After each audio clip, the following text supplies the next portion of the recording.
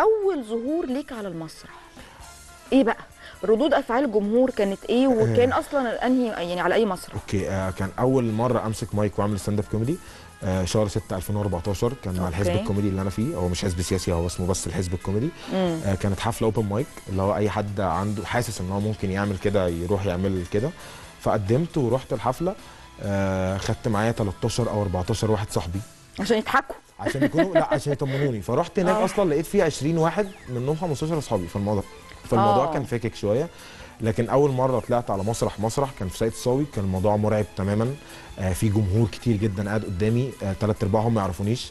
وأنا مط- مطالب إن أنا أطلع الناس دي تضحك. آه كان رعب جدا آه طلع على- يعني هو الفيديو اللي موجود اللي إحنا. شفناه آه، دلوقتي. آه. أوكي. آه كنت طالع لو الناس ركزت هتلاقي أصلا أنا متوتر بتحرك كتير وكده. لكن الحمد لله لا كان رد فعل الناس كويس جدا يعني. أكتر ردود أفعال من ال- الجمهور الأعمار. يعني الأعمار السن الصغير التين ايجرز ولا لا الناس الكبار اللي بيبقى فعلا عندهم مشاكل وعندهم هموم فجايين يضحكوا.